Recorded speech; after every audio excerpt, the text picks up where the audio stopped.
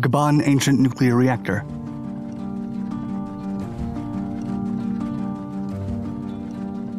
The idea of a nuclear fission reaction hadn't even been theorized until the early 20th century. Furthermore, the first successful controlled fission reaction occurred as late as 1942. Being such a recent and intricate development, scientists were in shock when, in 1976, they discovered an ancient nuclear reactor buried deep below the land of what today is the country of Gabon. The most incredible aspect of the unearthing was that the fission reaction that took place there was dated as far back as 2 billion years ago. Due to the volatile materials and the precise conditions needed for fission to occur, the scientific community firmly held that such a reaction had never happened on the face of the Earth until 1942. Physicists calculated that the odds of a nuclear event occurring naturally on Earth were near impossible.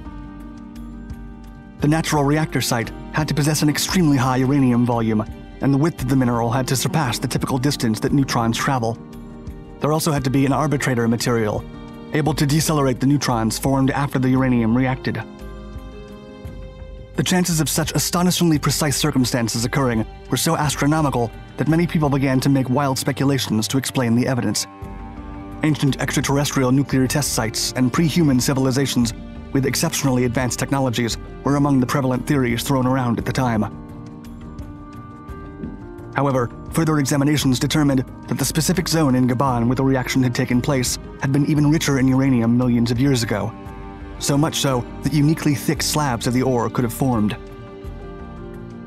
Scientists also discovered trace amounts of other elements entrenched in the uranium, with a percentage resembling those found in waste material generated by nuclear power plants. Researchers concluded that even if it was highly improbable, the underground site had been the center of an unprompted natural nuclear fission reaction sometime millions of years ago. Many skeptics still cling to the idea that the reaction had to be caused by a long lost intelligent life form, even when the science community has determined otherwise. Zhang Heng Seismograph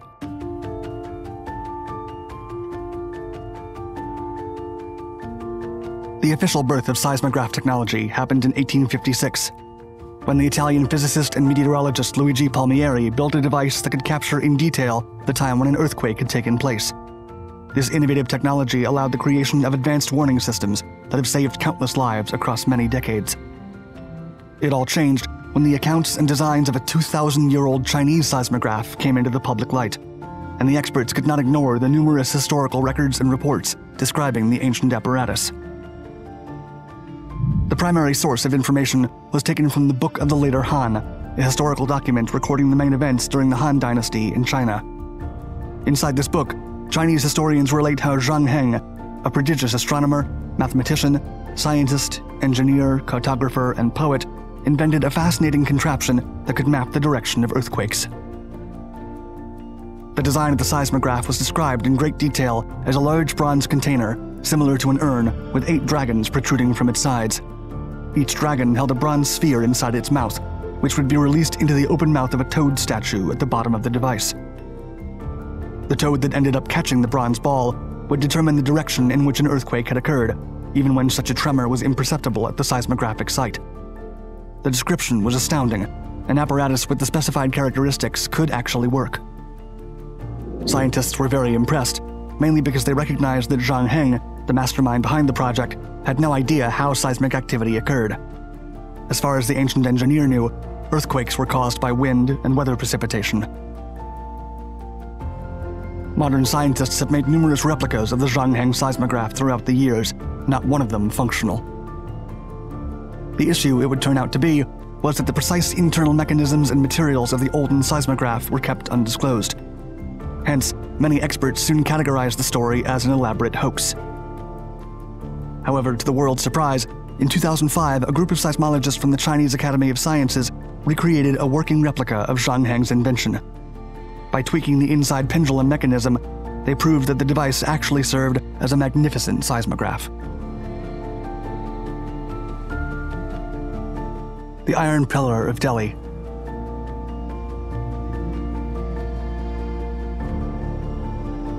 Time consumes everything. This ancient mantra is especially true in the study of history, as experts race to preserve valuable things. Some materials disintegrate faster than others due to the onslaught of time and weather conditions, and ancient creations made from iron are particularly vulnerable to the passage of time, as rust breaks them down relatively quickly, leaving historians with limited evidence of iron based constructions. Yet, shockingly, an ancient iron structure over 1500 years old that has refused to rust still sits in Delhi. The 24 foot tall, 6 ton column has been a historical enigma for Indian and international researchers from the time they began studying it in 1912. The legendary column has stood all these years in the harsh outdoors, unprotected from the elements. But while many iron constructions of time have degraded into almost unrecognizable tarnished shadows of their former selves, the iron pillar stands intact. Even the delicate engravings bulging across its sides preserve a perfect shape and continue to be readable despite the passage of time. Researchers know for a fact that the pillar's primary material is iron. Still, the exact alloy that would allow an ancient civilization to produce a structure immune to rust has continuously eluded them. It would take metallurgy experts centuries to develop a modern understanding of how to create similar iron alloys using modern technology. However, in the 5th century, such technology didn't exist. Many researchers and authors who came into contact with the ancient metallurgy marvel turned to more exotic theories to explain the iron alloy. In 1969, author Eric von Däniken credited the lack of rust on the Delhi pillar and the mysterious nature of its creation as an indication of extraterrestrial interference.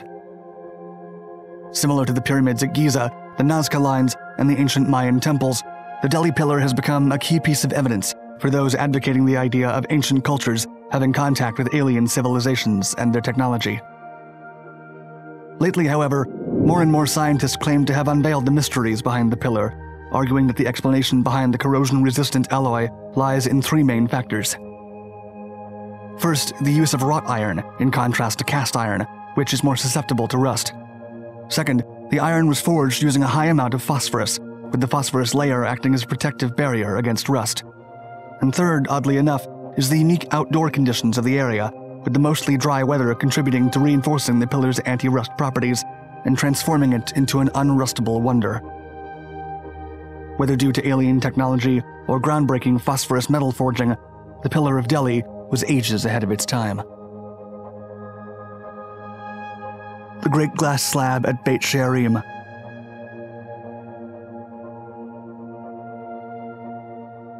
An exceptional archaeological site lies in northern Israel. The place holds the remains of a small town called Beit She'arim. These ruins are fascinating not only because they house the largest underground Jewish burial site in the world, but also because in the 60s, several explorers uncovered a nine ton slab of glass in the middle of the burial cave. The glass block has no resemblance to the frail and transparent appearance of what most people know as glass. In fact, the slab was thought to be stone for many years with archaeologists going as far as claiming it was made out of granite. In 1963, researchers from the Corning Museum of Glass visited the place and suggested the slab might actually be glass.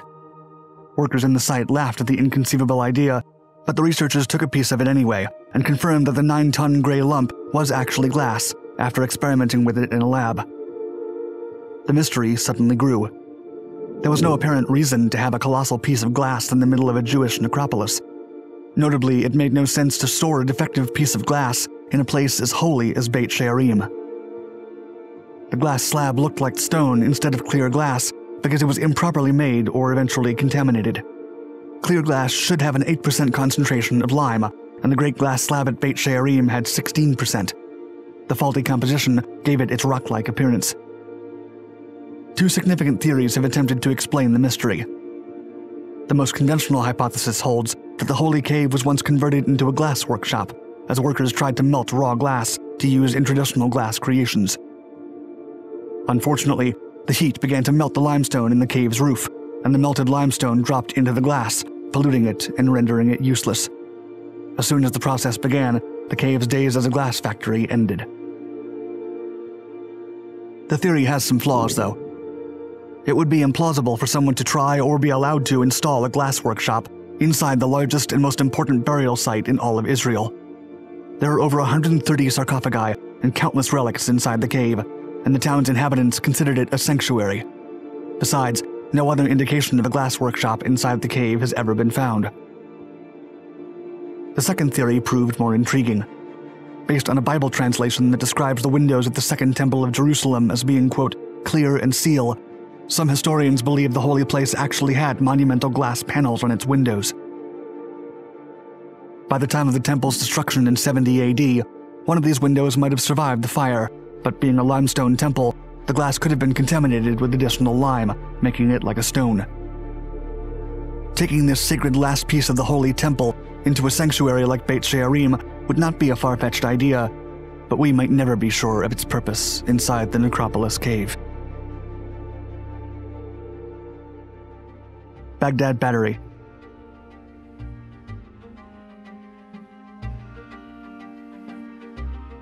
Electricity is a relatively recent discovery. For most of human history, phenomena like lightning, electric eels, and static electricity had been studied curiously but never truly understood. Until the early 17th century, scientists would begin to identify electricity and define its nature, but it would take decades to take that knowledge and turn it into a beneficial invention. The first modern battery was invented in 1800 by Alessandro Volta. It consisted of copper and zinc discs piled on top of each other, separated by a cloth layer soaked in brine. The revolutionary device was capable of storing electricity for later use.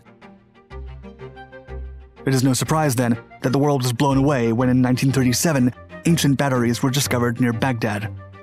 The rudimentary devices were dated to 150 BC and immediately made historians and researchers reconsider their entire conception of the ancient world. The ancient contraption was made of a ceramic pot, a tube of copper, and a rod of iron. Incredibly, its configuration wasn't that different from what Alessandro Volta would create centuries later, but history would have to be rewritten if it was discovered that ancient civilizations were able to use and store electricity. Speculations ran wild, as people considered ancient electrical illumination systems, such as electric shock torture devices and even bizarre religious rituals. However, scientists would later determine that with a voltage of fewer than 2 volts, the Baghdad batteries held such a nominal charge of electricity that it would be technically useless. On top of that, there exists no evidence to support that the batteries had terminals or were actually connected to something. Many experts argue that their use was probably unrelated to electricity. And even if ancient people could harness the 2 volts inside, the most likely use would be as a religious party trick to shock people into belief. Still, no conjecture is entirely certain, and the possibility of ancient cultures mastering electricity cannot yet be discarded. Thank you for watching our video. Please like and subscribe to our Dark Documentaries channels for more exciting historically inspired stories. Also, let us know your thoughts in the comments and hit the bell icon to be notified of our newest content.